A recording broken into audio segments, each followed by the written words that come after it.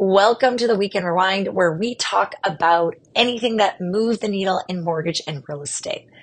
So, positive news this week. We do have interest rates that are ending the week better than where we started.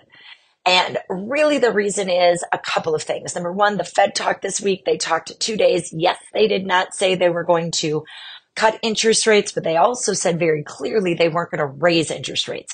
They said they're restrictive enough at this point and that they are going to be watching, but they're not taking any potential cuts off the table at this point for the end of this year, which was positive. We also had jobs numbers came out and those jobs numbers were quite a bit less than expected.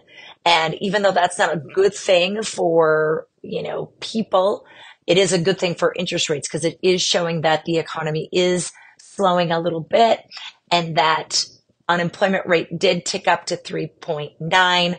If the unemployment rate ticks up to a 4.2, 4.3, that would surprise the Fed and that would cause them to cut rates way faster than they're anticipating. So we really want to be paying attention to that number. The other thing that I think is really important for everyone to know is this market, in spite of interest rates, is still chugging along really well. So a few statistics for you. Last week we had 12 clients that made offers. Every one of them were in multiples. The highest offer that we had was 875.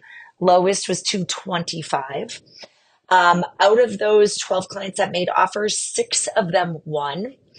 And when we connect with the other six, why they didn't win, many times it was, uh, this is how high we were willing to go on this house, and that's it. We weren't willing to do the appraisal gap. We weren't willing to do um, no inspection. So there were just some levers that they were not willing to pull in order to win. Maybe it just was not the right house or they just didn't feel comfortable enough or maybe they were too new in the market to do that quite yet. But those that did win had very short inspection windows and they basically said, if it's not five grand or more in repairs, we're not asking for a thing. They had full appraisal gap. They had quick closings or long closings, depending what the seller wanted.